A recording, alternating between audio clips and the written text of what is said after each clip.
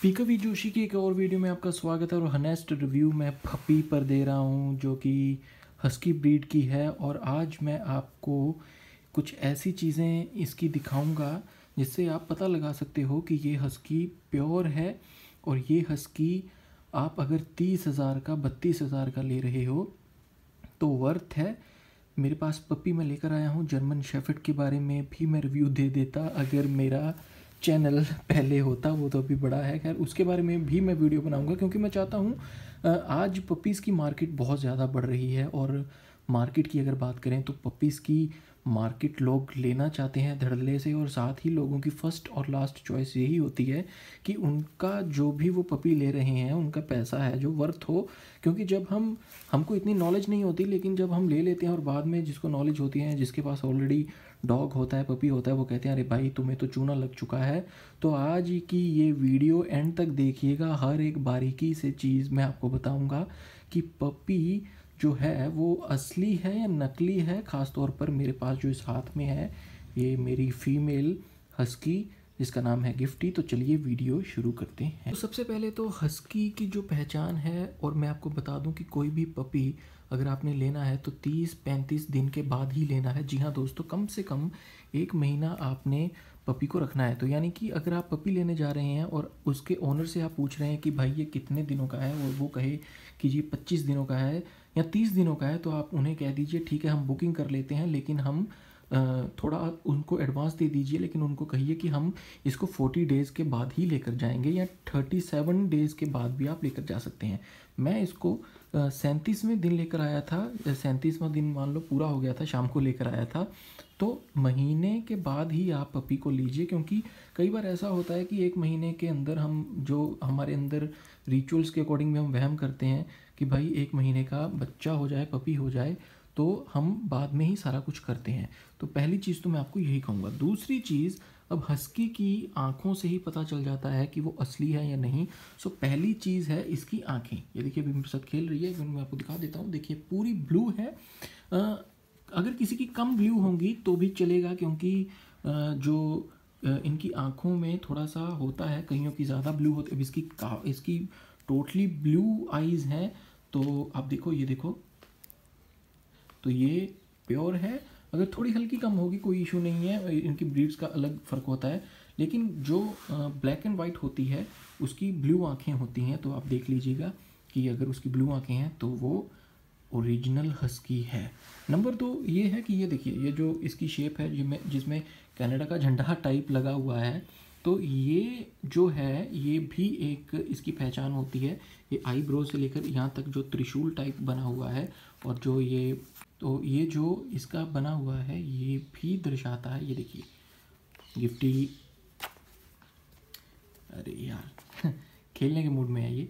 तो ये देखिए, आप समझ ही गए। ये देखिए, तीन जो चीज़ें ये देखिए एग्जैक्ट ब्लू आइज़ और ये तीन चीज़ें। इससे भी पता चलता है कि ये ओरिजिनल है और जब हम कोटिंग देखते हैं कोटिंग यहाँ ब्लैक लगेगी।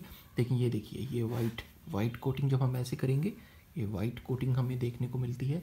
तो ये यहाँ से भी पता लगता है। Number three number one eyes number two ये इसकी भौरियाँ फोरहेड और नंबर थ्री इसका कोटिंग आप देखो।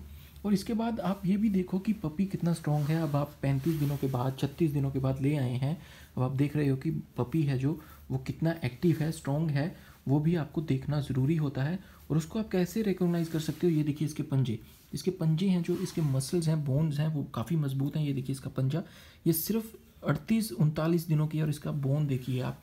इसका पंजा कितना स्ट्रॉन्ग है। ये देखिए आपको ऐसे स्टार्टिंग ये देखो। कैसे इसकी जो है शेप बनी हुई है तो आपको पता लग जाएगा कि ये जो है और जो रीजनल्स होते हैं, उनकी जो ग्रोथ है वो डे वन से होनी शुरू हो जाती है। जी हाँ दोस्तों, कई लोग कह देते हैं कि आप फ़ीड अच्छी दीजिए, थोड़ा टाइम लगेगा, लेकिन वो कहते होते हैं जो प्रोडक्ट बन जाता है, वो प्रोडक्ट वैसा ही होता है, चाहे उसे आप रोटी दे दो।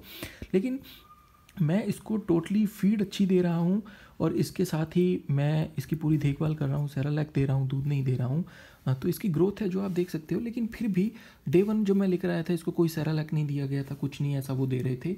और आप देखिए इसकी बोन ऑलरेडी तो इसकी बोन से ये देखिए आप नीचे, ऐसे लगता है जैसे इसने जूता डाला हुआ है तो इससे आपको पता चल जाएगा कि आपके पपी की बोन्स भी मज़बूत हैं ग्रोथ अच्छी डे वन से पकड़ रही है, और इससे भी आपको पता चल जाएगा कि पपी पूरी तरह से ओरिजिनल है। तो ये मेन चीज़ें हैं जो आपने पपी लेते समय देखनी ही देखनी है। अच्छा अब आप कैसे अंदाज़ा लगा सकते हो? कई लोग झूठ बोल देते हैं कि नहीं जी, ये तो पैंतीस दिनों की है क्योंकि उन्होंने पपी को बेचना होता है। तो मेरे, मैंने क्या किया था? मैंने इसका देखा था कि दांत, जो छोटी पपी होती है, उसके दांत नहीं आते हैं। आप देखिए, इसके पैंतीस दिनों की है और इसके दांत, ये देखिए, ऐसे हैं। मतलब छोटे हैं हैं, लेकिन कम हैं। ये देखिए ये देखिए। और जो तीस दिनों से नीचे होते हैं, उनके इतने दांत नहीं होते हैं। तो उससे भी आप अंदाज़ा लगा सकते हो कि ये दांतों की ग्रोथ से भी आपको पता चल जाएगा कि आपका पपी छोटा है या बड़ा है। ये देखो ये देखो ये देखो कैसे काट रही है मुझे। ये देखो, ये देखिए, इसके पूरे दांत आए हुए हैं। इट मीन्स ये तीस दिनों के ऊपर थी तो ये भी मैंने ये चीज़ देखी। इसके साथ ही आप इनके कानों से भी लगा सकते हैं। देखो, जो फेस है, पहले तो आपको पता ही चल जाएगा कि फेस हस्की फेस है ये, और इसके कान सामने की ओर होते हैं। जब ये सुनती है कुछ तो इधर उधर करते हैं, लेकिन इनसे भी आपको पता चल जाएगा स्टार्टिंग मेन जो चीज़ है फैक्टर है, वो इनकी आइज़ का होता है और वो हमने देख लिया है। तो मैं वीडियो खुद बना रहा हूँ, इसलिए ये थोड़ा सा ये देखिए कैसे चल रही है। ये देखिए ये देखिए इसकी पोस्चर देखिए आप, इसका भगवान नज़र ना लगाए इसे।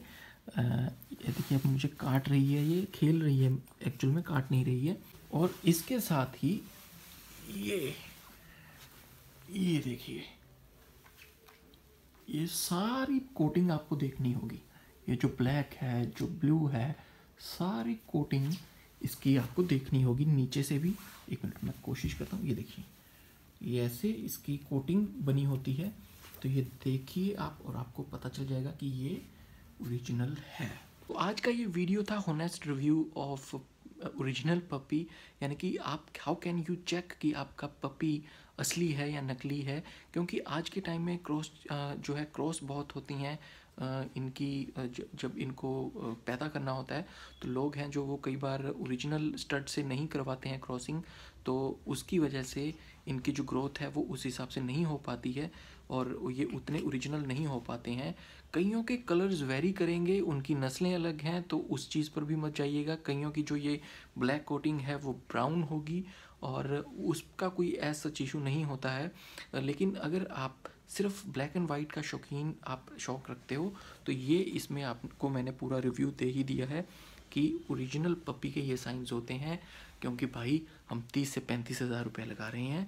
और हमें पूरा हक बनता है कि हमें पता हो तो ये वीडियो आपके लिए काफ़ी कारगर सिद्ध होगी। अगर मैंने कोई कमी छोड़ी है तो कमेंट कर दीजिएगा कि और किस चीज़ से हम इसको, इसका पता लगा सकते हैं। वीडियो अच्छी लगी इसको शेयर कर दीजिएगा। अगर आप हस्की पपी लेने की सोच रहे हैं तो ये वीडियो आपके लिए काफ़ी फ़ायदेमंद होगी। और कोई लेना चाहता है तो उसको ये वीडियो शेयर कर दीजिएगा ताकि उसको मदद मिल सके। Thank you so much.